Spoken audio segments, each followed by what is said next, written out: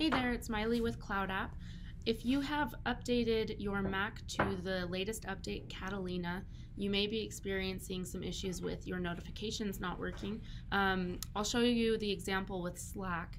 Um, so usually when you have a notification with Slack, um, a little dot will appear on the icon to show you if you have any um, unread messages or any updates in any of your channels. Um, so it'll either be a dot or a number, um, depending on what kind of notification. But after Catalina, none of that was showing up for me, even though all of my Slack notifications um, were on the same settings and um, I'll show you in another video how you can update that if you're not getting any notifications at all. But it was only after the Catalina update that I couldn't see anything. So I'm going to show you how to update that. It's in your system preferences.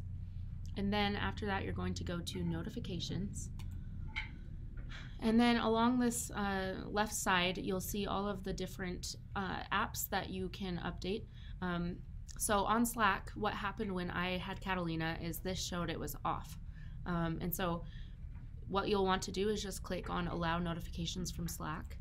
And then you can update if you um, if you want a banner or an alert or none um, I chose to not have notifications on my lock screen or a notification preview but um, you can if you want to have those. Those will show up on the top right hand corner.